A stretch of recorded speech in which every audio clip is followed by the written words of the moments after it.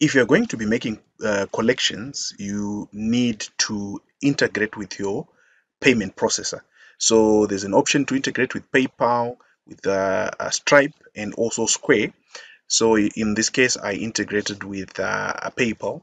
Remember, for integrations, you scroll down and click on integrations, then you uh, enter your details. Now, on the payment settings here, as you can see, I'm connected to PayPal.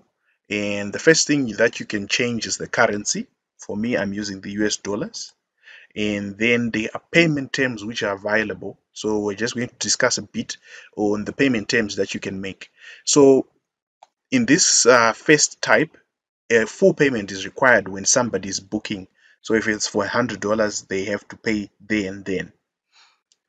A second option is to require a deposit amount then the rest of the amount can be paid uh, in the future. So, for example, if it's a payment for something, you can require a, a, a deposit amount for 50 if someone is paying for 100. And then um, you can also put it here such that the client can just pay, pay the full amount uh, for the, the event that they are booking for. Also, if they want a tip, eh, they want to tip um, you, uh, this uh, option is available in Stripe and Square uh, payment processors only, not on PayPal. The next option is to require a percentage. Instead of putting a fixed figure, you can put a percentage deposit.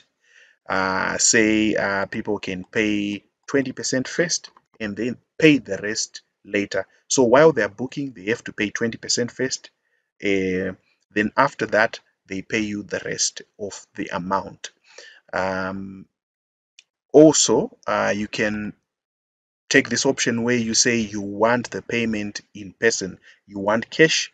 So uh, while they're booking, they then will need to come to you and make the payment in person instead of a payment processor taking the payment.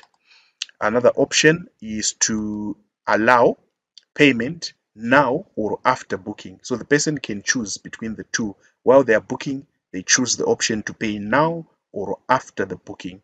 Uh, that's uh, more of a loose way of dealing with things.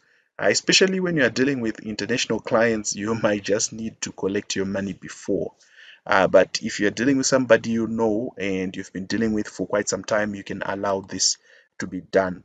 You also have an option to customize for each payment. Um, each payment for each kind of uh, event. In this case, I have uh, a consultation, onboarding.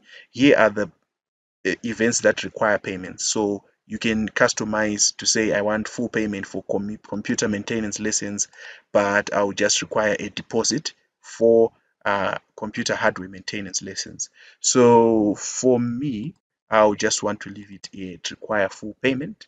And once that is done, um, you click save and you're done with payment settings.